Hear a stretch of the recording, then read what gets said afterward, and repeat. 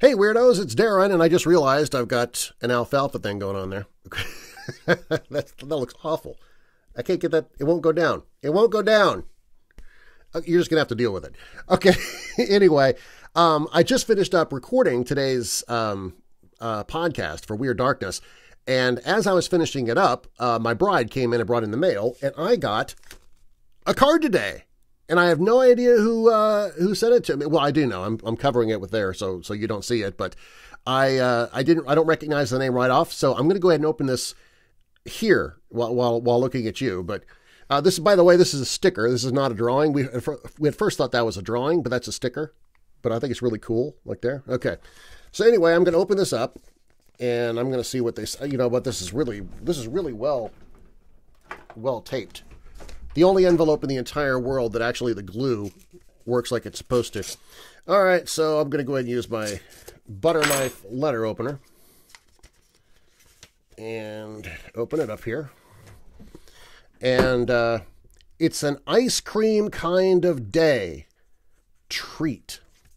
There it is, right there.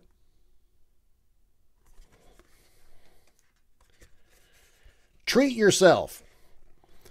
And uh, okay, I'll just I'll just read this out. There's a lot of it to go. Okay. I was impressed by the welcome card and Weird Darkness Lego uh, logo stickers. Uh, I have signed up to uh, several podcasts, but never a thank you or hey, how are you doing? Before I found your podcast, Darkness Radio and Beyond Reality um, was to be my was, or were to be my go-to podcasts, but no longer.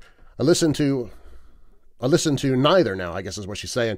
Both have changed their programming to woo shows cut down to just a couple a week and are always going to conferences. Uh, the, they've definitely lost interest in their listeners. So you are my favorite now. Rock on. Signed, Christine. Christine, thank you so much. This is really awesome. I, I can't wait to share this with my bride. Thank, Thank you very much. I really appreciate that.